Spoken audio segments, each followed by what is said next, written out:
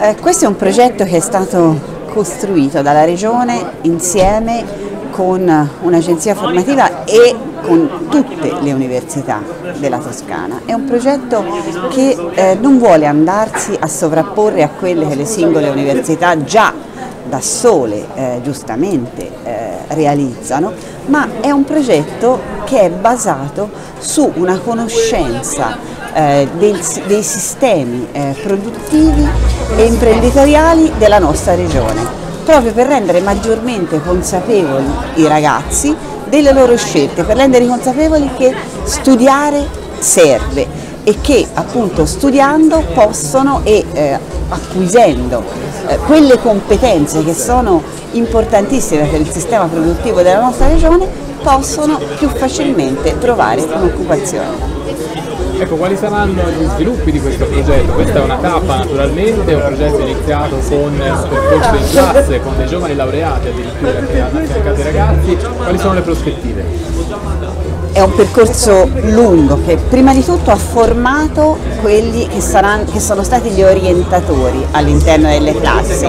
L'orientamento non si può risolvere in un contatto occasionale con le università, ma occorre un contatto più continuo. Per questo abbiamo lavorato all'interno delle classi e poi stiamo cercando di eh, mettere insieme, di far conoscere anche altre politiche che la regione toscana sta portando avanti, ad esempio sulla ricerca.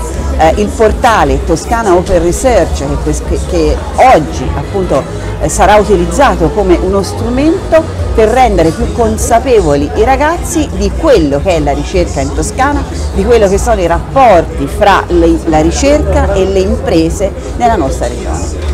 Sta andando sempre più a fare rete tra agenzie di formazione, università, regione, tutto questo appunto per favorire la crescita e soprattutto il collegamento tra scuola e lavoro. La Regione Toscana ha fatto molto da questo punto di vista, quali possono essere i prossimi passi per fare ulteriormente meglio? Ma è sicuramente è eh, un contatto sempre più stretto tra gli assessorati all'istruzione, alla formazione, al lavoro e l'assessorato all'università e alla ricerca. Stiamo lavorando fortemente in questa direzione con l'assessore Grieco che appunto eh, sta collaborando con le sue strutture anche a questa, a questa iniziativa, eh, sempre appunto per far conoscere di più ai ragazzi quelle che sono le opportunità di studio ma anche di lavoro nella nostra regione. La nostra regione può ancora dare molto e soprattutto quali sono i settori dove veramente la regione può dare tanto per il futuro.